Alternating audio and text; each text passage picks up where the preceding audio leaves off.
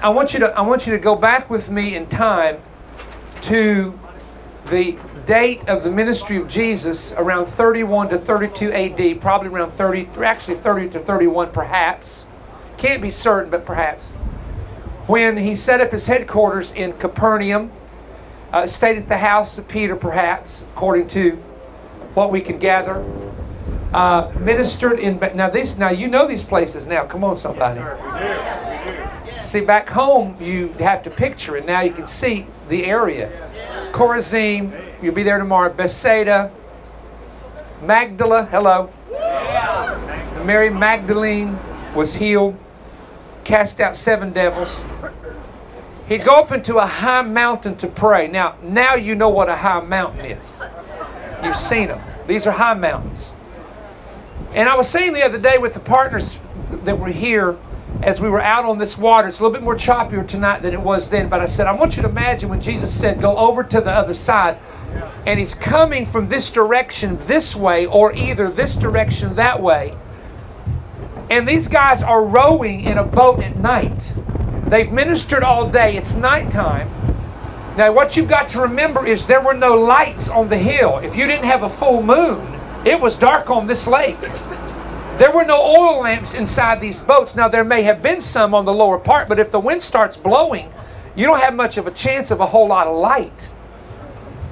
They get to rowing, get midways in, and your Bible says that the wind was contrary to them, meaning they're rowing against a situation that's resisting them. Has anybody ever had a situation that's resisting you? You've got a destination and a manifestation, but you got resistance in the process. And there are some times, no matter how many people are rowing with you, you can't make it to the other side. I think I'm going to preach just a little bit. I might just go old school if you don't mind for this. Now, Charlie, I'm looking at the water, son. Don't tell me what to do. You're the cameraman. I'm preaching. Now, Jesus is on a mountain and it says he perceives they're in trouble. It's night. He goes up in the fourth watch to pray, which starts at 3 o'clock in the morning. You know and I know if you stayed on this lake, sun's not up at 3 in the morning. He's praying, they're in a boat, and he perceives they're in trouble. They're in a situation that's contrary.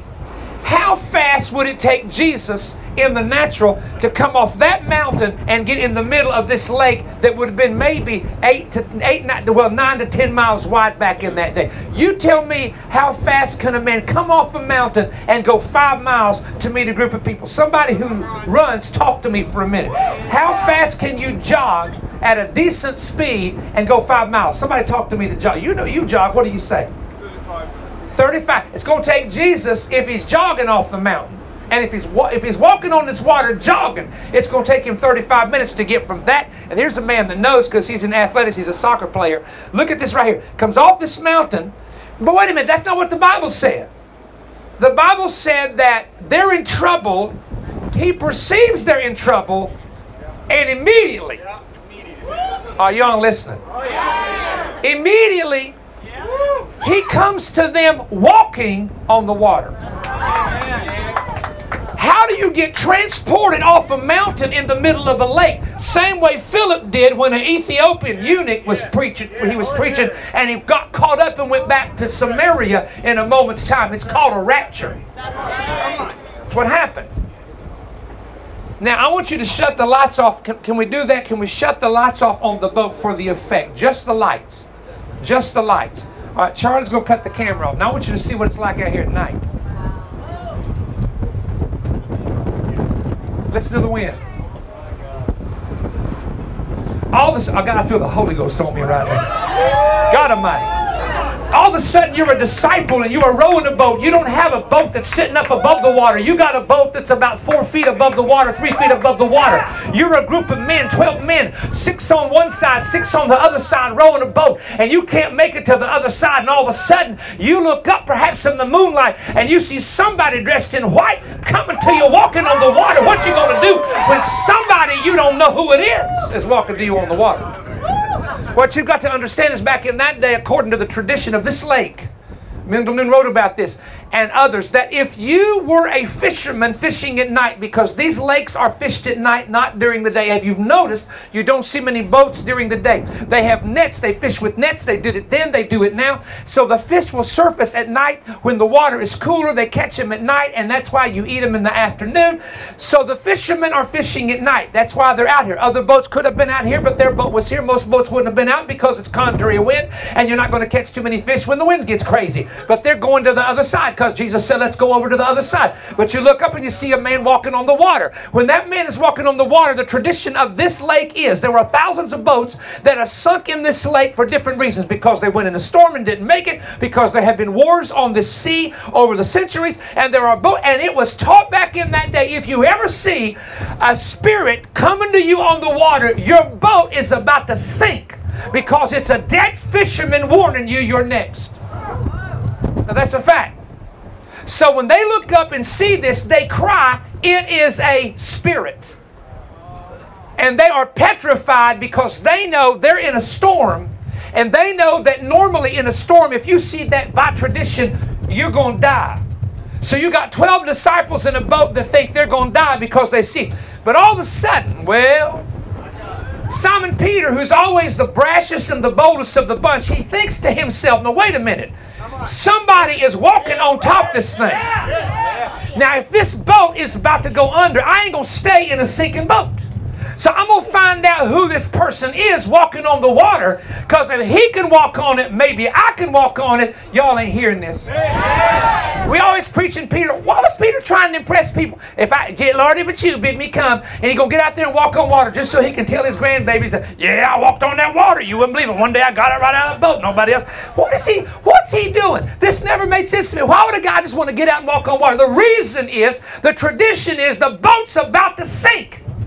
So he says, I'm going to find out. He gets to looking at it real through the moonlight. He says, Lord, watch this now, if it's you.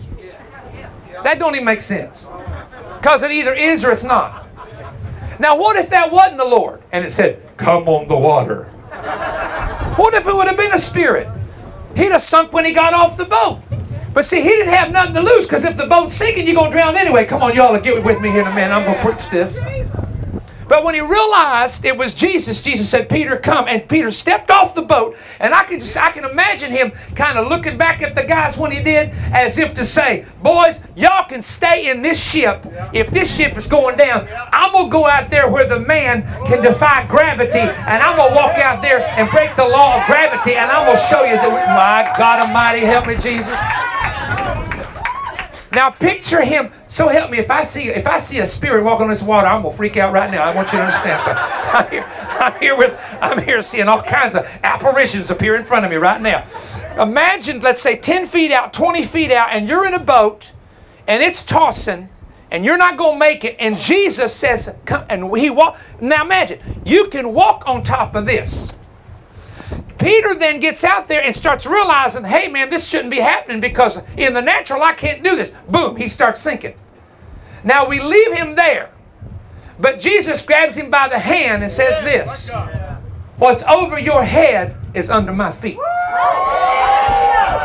All right, now that'll preach right there. What's over your head? Meaning you're in the middle of a storm, but it's under my feet. You can't make it to the other side, but that's under my feet.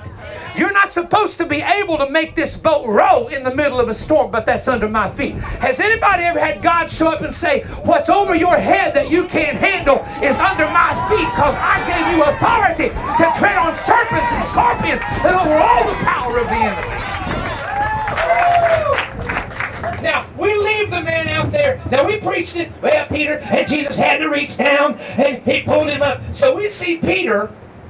We leave him out there on the water. But I want y'all to understand something. He walked back in the boat. Don't leave him out there drowning. He walked back in the boat. But here's the cool part. And then immediately, in these stories about the storms, go read about the storm. He calms the storm in the midst of the lake, and immediately they're on the other side. Hold on. That's five miles away.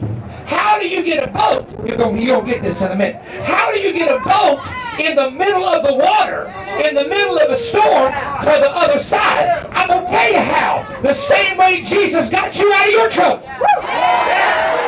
The same way that you went down to an altar one night and Jesus set you free in a moment's time. The same way that God had you when you were bound by drugs or alcohol or addictions, that you showed up and all of a sudden Jesus showed up and said, I will take you to the other side. You see, we sometimes fail. Then it was Jesus that said, let us go over to the other side. He's in a boat on one occasion and he's sleeping on a pillow and the Bible said the boat was full of water and the boat wasn't sinking. I've been around enough fishermen to tell you that when the boats get filled with water, the boats are supposed to sink. But your boat ain't going to sink even when it's filled with water. When Jesus is inside your boat, because Jesus will do a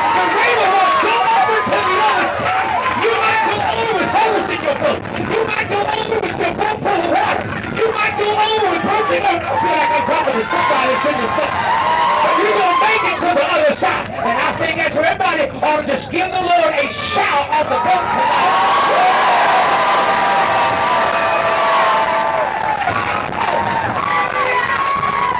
Jesus, help me, Lord.